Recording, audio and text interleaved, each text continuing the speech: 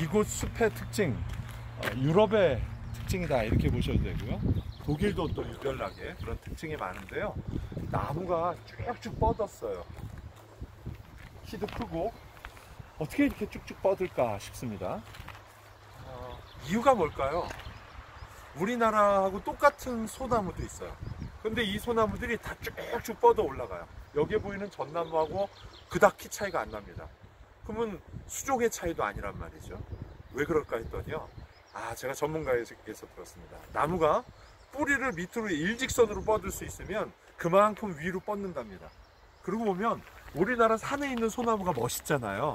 이렇게 휘어서 크, 멋있게 가는데 그, 그 이유가 바닥이 다 흙이니까 뿌리가 이렇게 휘어서 가니까 몸도 이렇게 휘는 거죠. 어, 그 이야기는 이곳 어, 땅이 아, 산으로서 혹은 저 들판에 가면 밭으로서 굉장히 비옥한 땅이다. 약간은 부러운 면이 있는 곳이다. 이렇게 말씀드릴 수 있습니다.